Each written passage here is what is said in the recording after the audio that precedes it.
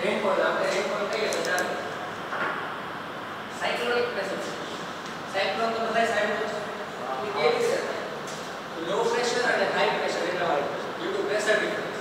suppose આ area છે ભાઈ લો પ્રેશર જનરેટ થાય છે આ એરિયા હાઈ પ્રેશર તો લો પ્રેશરને કારણે બધી હવા ક્યાં આવશે એટલે જે વોઇસ આવે છે ને એ બધી આ બધી હવાના આવવાના કારણે એ છે ઉપર રાઈઝ થશે ઓલી બધી વેલોસિટી નીચે આવે તો ઉપર રાઈઝ થશે એટલા point rise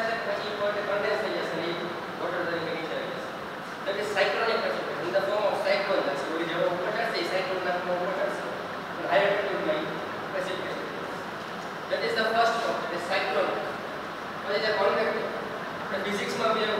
convection radiation by convection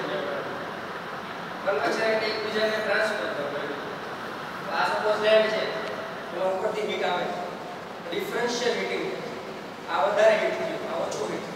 આ વધારે હીટ થયું. એના કારણે હવા છે એ વજનનો ફેરફાર થશે. પાછું પ્રેશર ડિફરન્સ ક્રિએટ થશે. પછી વધારે હીટ થઈ છે ઉપર જશે.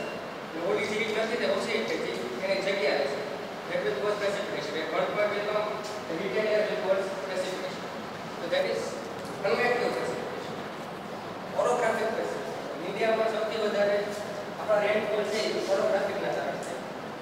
orographic is હવા ટ્રાવેલ કરે છે હિમાલય પાસે જે છે આખી બાઉન્ડ્રી છે હિમાલય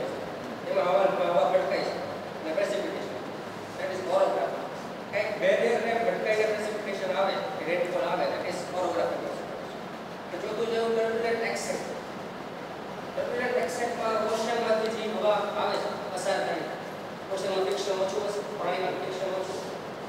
હવા પાસ થાય છે અને લેન્ડ ઉપર આવે ફ્રિક્શન વધશે ફ્રિક્શન ધીરે ધીરે કેટલું વધશે કે ધીરે ધીરે એ હવા રાઈસ થવાની ચાલુ કરશે ફ્રિક્શનના કારણે ટર્બ્યુલન્ટ ટર્બ્યુલન્સ થશે ટર્બ્યુલન્સ હવા રાઈસ થશે રાઈસ સાથે